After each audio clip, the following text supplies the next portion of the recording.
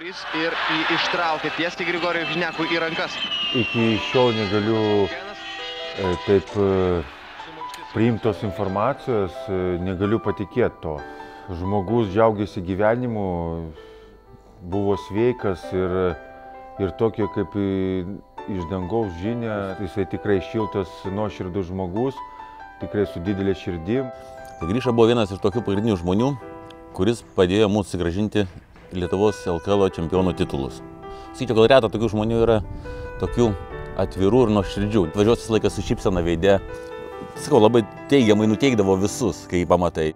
Kart pasijokdavom iš jo, kažkas nesiseka. Jis, sako, grįžta jau išėjo su, su aukštom dvasiam šnekasi, kažkur į viršų žiūri dangų, pasakoja kažką tai žiūri, ateina, apsiramina ir vėl tokie teigiamas emocijas perdoda visai komandai.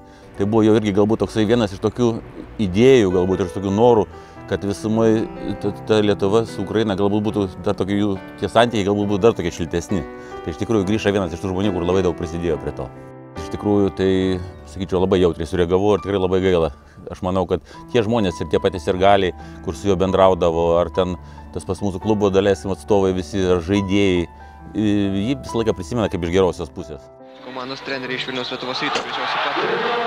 Siskauskui nedalyvauti šiame konkurse Grigorijus Žnekas patenkintas savimi. Buvo didelis žmogus, didelis širdies. Visą laiką juokaudavo, visą laiką juokaudavo, visą laiką su juo linksma būdavo.